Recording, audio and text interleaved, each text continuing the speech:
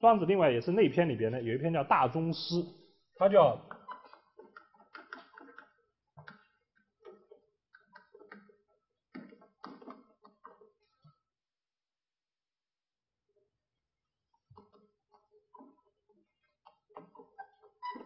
他有这样的有这样一个话，庄子里面这样的话非常之多的，就是人和天作为一个对比对举来讲很多的。他以不以心捐道，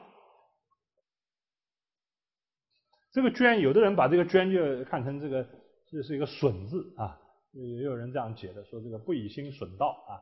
有些讲捐嘛，当然我们现在用那个话就叫什么捐弃啊，这个不以心捐不以心捐道啊，这个捐可以。都可以理解啊，损就不能不以这个心当然是自自自指人的心啊，你的心不以心去损害这个道，不以人助天。如果说这个是从否否定的角度来讲的话，就是说，其实这可以讲是一个互文的关系啊，就是说不以心这个伤害、损害也好，抛弃也好，这是一个负面的来讲啊，这个这样子来对道有一个伤害的话，也不以不以人助天，不能以人来助天，这个助什么？助是一个正面的。以天助、帮助、增加啊，是一个正面的这样。但这个东西好不好，也是不好的。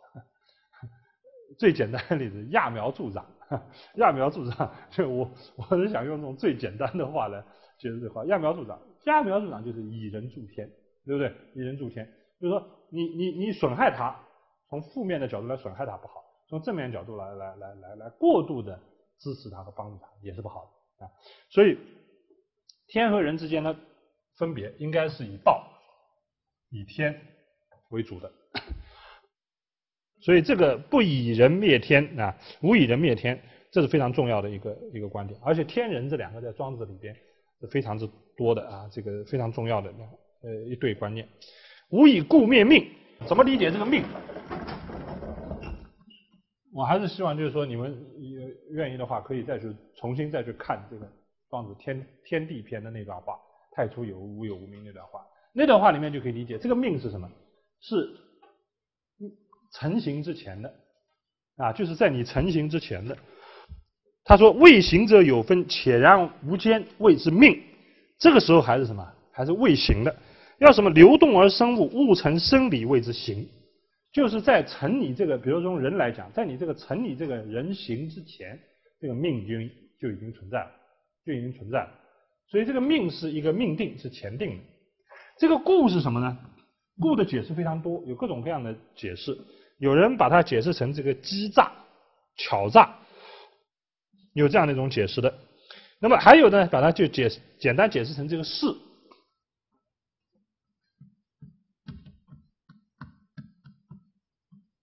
就事情啊。这个这个事当然是琐事啊，这个事。还有还有呢，现代的更现代的解释呢，有人就把它解释成这个故事后天而有的种种的习性啊。不管怎么解释，所有这些东西都是在命之后的，命是先在的。所谓这个道德命性。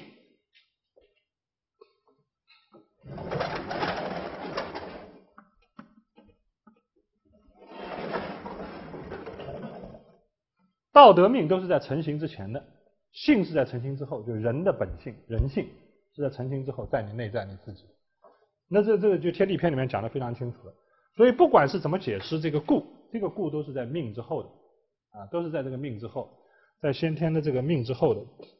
所以实际上都是所谓，如果你要以故灭命的话，就是拿这个后天的种种啊来。伤害到你先天所有的、你本来所具有的，得自于道德、得自于天道的那个东西。所以无以故灭命。那么再怎么讲呢？这个命的话，就可以讲是说，它实际上可以讲是要保守你原来的那个性命，保守你原来的性命，使它不受到损失、不受到损伤、不受到扭曲啊。因为不要用后天的欺诈、后天的事故这些东西啊。事故，我们现在讲事故是是讲这个发生了一个什么事情啊？一个事故啊，就不要用后天这些事故来损害到你原来的这个性啊，呃，你你你你你你现世的性也是之前成型之前的那个命。无以德寻名，德是什么？德者德也，德者德也。这个德是哪里？也是跟道相通的道德。所以所有这个都是说是什么呢？道德性、道德命性，都不要因为这个人故名名，当然名有不同的解释，有的讲是名声啊。从后边我们可以看这个名字，嗯，怎么来理解啊？呃，当然最普通的就认为这个是个名声啊，认为这是个名声名誉啊。这个名誉当然是世俗的种种的东西。当然呢，从后边来看，也可以讲是所谓当时庄子特别讨厌的那些所谓名辩、明辨之学啊，明辨之学。这个像包括像惠施啊，像公孙龙啊这些人啊，所以说明辨之学还特别讨厌。他说，所以这些东西不要去伤害你先天的这些天命德啊，不要想伤害这个。所以他下面接着讲了，讲谨守而勿失，守什么非常清楚，就是这个要命，要天，要命，要德。但实际上那个天真，你原来的那个天真的意思就是说，真正是你保持你原来的那个天性。天性之真啊，保持你这个天性的真。就庄子里面其他地方也都有解释，我这里啊都有都有那个阐释，我这里不做特别的这个发挥了啊，不做特别的发挥了。就是说反之真，但是为什么要反之真？反之真就是返回啊，因为我这个从道德命性到这里了，那我保保有所有的这些东西是要回到什么？这个才真正回到你的本来。保守你的本来就回到你的本来，反真返回真，就像我这个上次讲到逍遥游的时候，讲到那段天地的时候，我用过用过那个孟子那段话，不知道大家还记得？孟子的话是什么？就是讲要静心知性，然后知天，因为天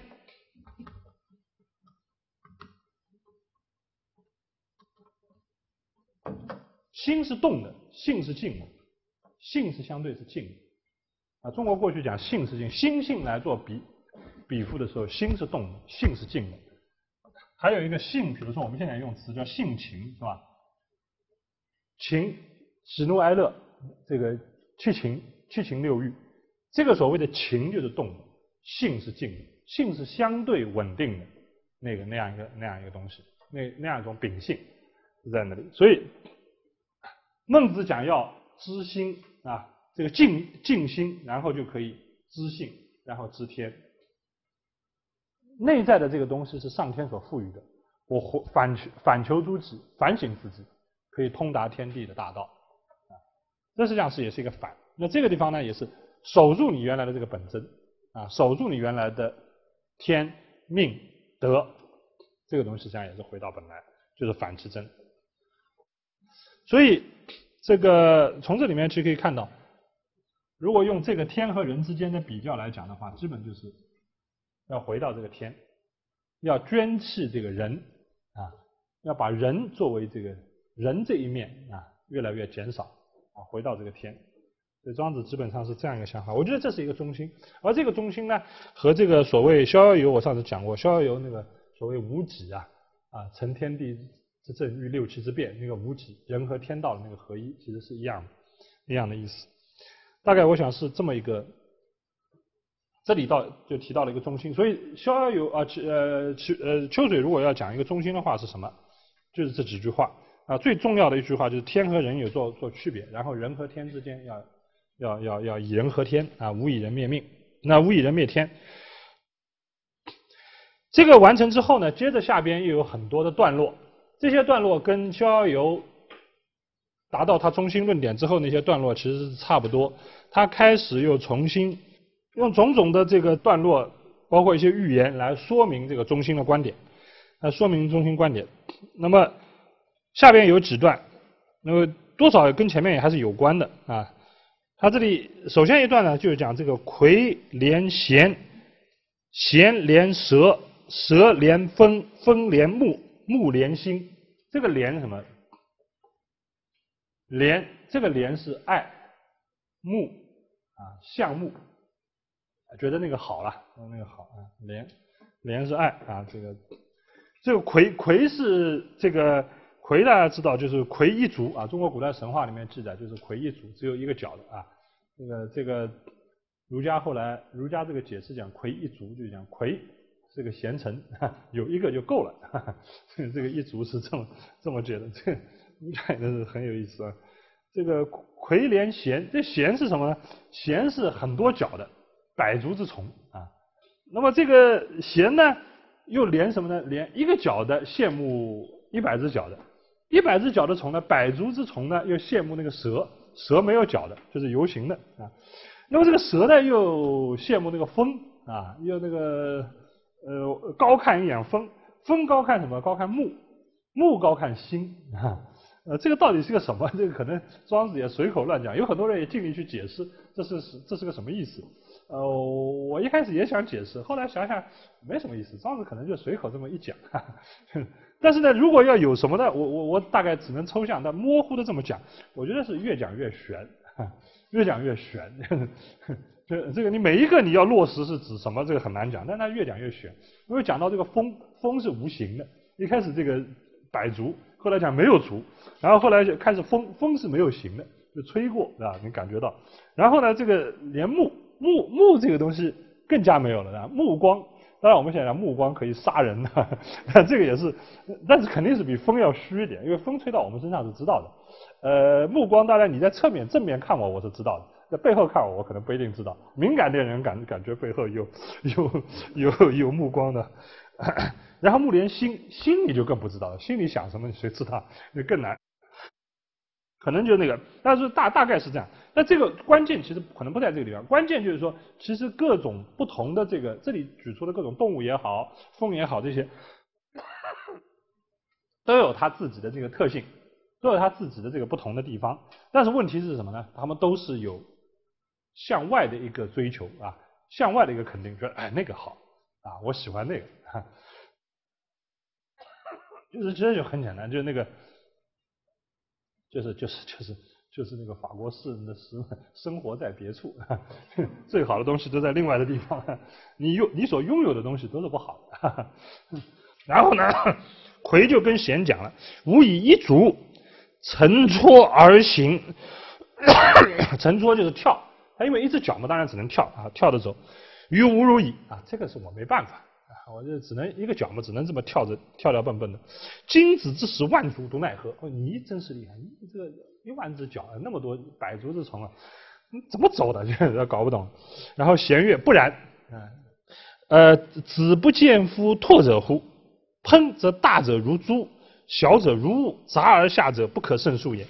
啊，这个这个实在是 不是一个很雅的这个金鱼。动物天机而不知其所以然。他这里提到了一个天机，他讲到了一个天机。你你觉得我这一这这个你讲一万只脚也好，我这么这么多脚，我怎么走的？我这是动我天机，所以我也不知道是怎么回事，我就这么走了。那是这样的，你经常是你突然问他，他就不行了，是吧？有很多事情就呵 呵那个。有很多事情是这样，你骑着自行车，人家突然问你你怎么骑的，都不知道，都不知道，就是他他说我就这么走了，然后所以这里提出个天机概念，天机是什么？依照这个天机行事，这个就是合乎自然的，我就是这么走的，啊，我就这么一个构造。弦为蛇月，那个但是弦当然对这个对这个魁是。没什么可说的，它好像是比魁高一点。但对蛇呢，它有那个了。吾以众足行而不及子之无足，何也？我有那么多脚，你脚都没有，怎么回事？蛇就说了：天机所之所动，何可易耶？他也是讲天机，天机实际上就是讲这个自然本然啊，就是讲这个自然本然。这有什么可以那个的呢？他说这个 呃，何可易耶？吾安用足哉？我要脚干什么？反正我就是这么走的啊！但是蛇呢也有羡慕，蛇就对风讲了：“于动物及斜而行，及斜大家知道，疾就是脊柱啊，斜就是这个这个部位。那蛇是在地上游的啊，啊扭动的往前走啊。所以他说我这个动物及斜而行，则有四也。有四也，这个四字有四有很多人不同解释。那其实也可以就理简单就理解说，这个有四就是说是有形的，我是落形迹的啊，起码我这个在上面。在地上这个扭动的身躯往前游动嘛，对吧？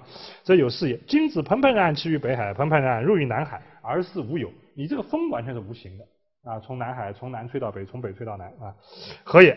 风就回答了，哎，他说这个鱼滂沱然其于北海而入于南海也。然而指我者胜我，指我者胜我，指就是用手指来指我。这个风是吹过来，但是用手一指的话，那当然这个风风只能我们讲空气嘛，对不对？我这似乎是很自由的啊，一指它当然风挡不住我。这个秋我亦胜我，啊，秋我就是秋是解释踩啊，用就是挥手。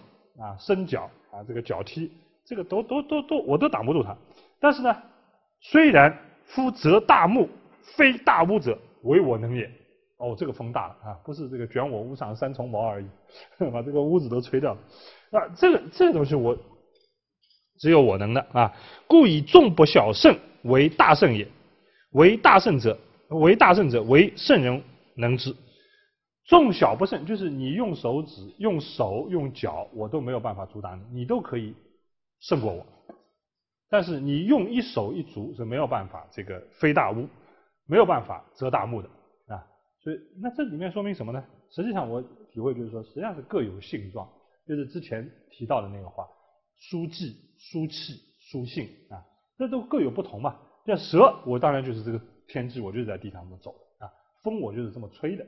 啊，所以这个世界上的各种各样的事物就是这样的，所以，所以我我我我我这个小胜，在这个小地方我是，其实也就是说什么，良力可以冲成，但不可以自学，就前面讲的，良力可以冲成，但是不可以自学啊，那不同。我这个手足我是打不过，但是我可以折大木，可以飞大屋。因为讲到这个这个动动物天机，所以这里提出个天机啊，所以得出个天机，这个地方所以相对来讲呢。呃，肯定的是说，肯定的是这个天字啊，肯定的是天字。就前面讲无以人灭天，他这里肯定是天字啊，天机。天机对于天机，所以庄子他有意思就是这样，他讲起来他这个道啊，是一个好像很抽象、很高的一个东西啊，但是实际上它落实到每一个个体或者每一个物种里边。它实际上是充分尊重各个不同的这个类别的特点的。那为什么？它的理论就是，你这是你的天性，植物有植物的天性，动物有动物的天性，风有风的性性质啊。所以这个它是它是这样讲的啊。所以在这里讲的是一个天机，天机实际上就是强调天性的问题。那么第二节呢，孔子由于匡，宋人为之树扎而弦歌不辍。由于匡。呃，由于匡这个在匡被围，呃，匡这里是要说一下，就是说这个之前的这个呃注解的都已经唐代那个就是陈玄英就已经指出来了，啊，讲这个匡呢其实是这个不对的，是吧？这个呃不是不止陈玄英啊，之前就是那个晋的司马彪就指出来了，他说这个这个围于匡是在魏国啊，不是在宋国，是魏国啊，所以应该是魏人为之树扎，就把它秘密的围在那里。那这个事情呢，大概是真的有的啊，真的有的，因为呃，我当时也举了很多的相关的这个材料，其实不光是庄子本身，庄子这里讲，而且其他的这个正式的儒教的儒家的书里边，包括历史书里边啊，都都有啊，都有这个事情，而且这个事情的事由啊，也有不同的记述，但是这件事情肯定有，他在匡这个地方被魏人围住了。但孔子呢讲这个弦歌不错，他照样在那，这个我们现在也是一个成语了，那不费弦歌啊。但是这一段话呢，我觉得是庄子这到这里为止啊，其实这段话是讲的庄子对于孔子的这段刻画是几段里面讲的非常好的。嗯，庄子庄子书里边的孔子形象是比较复杂的啊，有的时候就完全是被他成为他嘲笑、喜笑怒骂的一个对象啊。但在这个地方呢，其实庄孔子的形象是相当正面的，而且讲的话呢是警句啊。句句都是极其漂亮啊，值得我们玩味的啊。他说：“何夫子之欲也？”这个子路就跑进去了啊。子路，子路跟孔子差不了几岁，他差九岁十岁吧，啊，是吧？呃，差不多的啊。那个呃，那时候讲争论嘛，那时候讲过的。人家说这个，是私下是谁说吧？好像他说说钱钱钟书有一个意见啊，说孔子最喜欢的弟子是谁？啊，觉得实际上是子路啊，他不一定是觉得颜回最喜欢的。这个人有的时候是很那个的，就是你不要以为这个孔子讲颜回是讲的很好的啊啊！我也有人家问他怎么样，他就讲我一个弟子啊，这个颜回怎么怎么好，怎么怎么好，可惜现在已经死掉了，怎么怎么好像很那个颜回最推崇的，但是他心里面，钱钟书先觉得他心里面最喜欢的可能是子路，因为子路这个人老是要跟他顶啊，但是呢，当然对老师也是忠心耿耿的 啊，非议啊，直接对他老师这个非议。所以这个子路就跑去了，他：“你你你那么高兴干嘛？为人为人何夫子之欲也？”啊呃，孔子说：“哎，来来，吴玉如，我告诉你，我会穷久矣而不免，命也；求通久矣而不得，时也。这个会穷跟求通都是一样的，都是讲要通啊，都不是要穷啊。这个儒家当然他要入世，入世才能实现他的政治抱负。我觉得这是很重要的。”我们现在对过去的有很多一些看法，我觉得是有问题的。我们现在这个呃讲文学的时候，经常经常我们现在讲文学讲文学史啊，这个一直说这个过去的文人 就是喜欢这个叫什么关心政治啊，这个文学里面这个政政治的成分啊太多了，道德的成分太多了。话我觉得当然是对，你站在立场上是对，但站到那个时代，回到那个时代，这是个很荒谬的问题啊。就那个时候，一个人如果他不关心政治，不关心这个社会的话，那这个人就是说，这个人还有心肝吗？因为你文人干什么？文人认了字，有了学问是干什么？就是要贡献社会的，这是你身份的一个基本的界定，你就是要干这个的，对不对？他不是在这个学术，他他不是说纯粹你做做做做啊呃，怎么讲？做艺术或者写两句诗的这个问题啊。这种人一般来讲，在中国历史上从来都不是主流啊。真正的一个文人，他就必须在那个时候规定了，你这种人，你就必须是要投身社会，要关心这个政治的人啊。这个如果如果不关心呢，就不对啊，就违反了你基本的这个身份啊。那说的不好听，就是站着茅坑不拉屎。就你这个人做官，你不做事，这是渎职啊。这个当然，文人不是一个职业，那对你自己的身份是有问题的啊。所以我们现在当然站在，因为是现在分科的基础上嘛，在现代这个术有专攻啊，在现代角度讲啊，你文学就应该怎么样啊？这这就苛求那个时候的文人，这个是我想是绝对没有道理啊，绝对没有道理的这个。所以儒家他当然就是要入世，就要实现自己政治抱负。所以他这里所谓的会穷和求通都是一个，就是要求通，就是要仕途成就。我只有在仕途的成就上，我才能够施展自己。所以他。但是呢，他说我会穷而不免，不免什么？不免于穷，就是说我还是不能够通，而是穷，那就是仕途不走不通了，仕途不畅啊。求通久矣而不得，求通不得，这意思都一样啊。就是说我要求通，但是不能成功。所以这个这个孔子他来怎么解释呢？他他的解释就是说，这个是一个，这是一个这个这个这个这个命和时。他说：“他说这个是命和时。那么这两个地方呢，我觉得是需要讲一下的。就是说，实际上会通和这个会呃会穷和求通是一回事情啊，是那些孔子这些儒家啊或者历代的士人文文人都是要追求的一个目标。这是一个常人这个最基本的一个方一个方面，这是没有什么可说的啊。但是呢，当他不成功的时候。”呃，实际上大部分是不成功的，能成功的总是少数啊。那个不成功的时候，你是怎么样？啊，有的人当然就是怨天尤人啊。但孔子呢，其实还是很清楚的啊。他有一个分析，就是用命和时来做分析，就是你要理解，当你不能够这个实现自己，不能够通而陷于穷的时候，你要知道，实际上是有人是有限制的，人是有限的。那么他的解释是什么呢？就是用这个命。